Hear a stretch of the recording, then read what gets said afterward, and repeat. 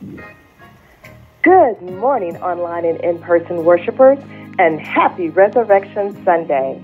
All ministry activities will be canceled this week due to spring break.